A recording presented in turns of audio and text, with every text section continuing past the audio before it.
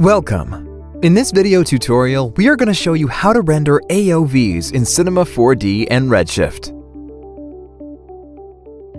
First, you have to navigate to the AOV tab in the Redshift's render settings.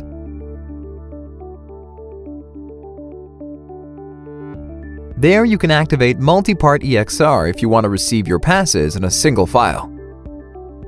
Then open the Redshift AOV Manager. There, you can add all the passes you need for this scene.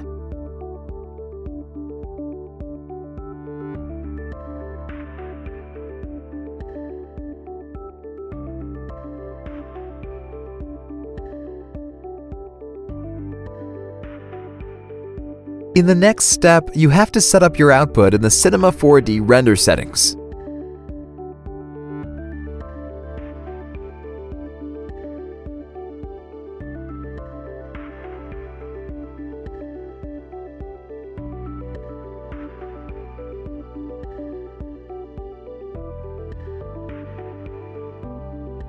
You have to use OpenEXR as a file format for the multi-layer file.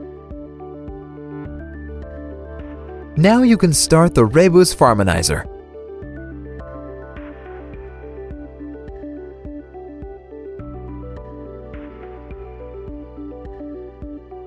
If no errors are detected, you are ready to submit your scene to the farm.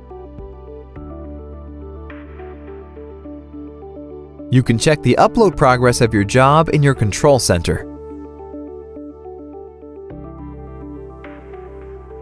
When the rendering is complete, the output will be downloaded to your specified download folder.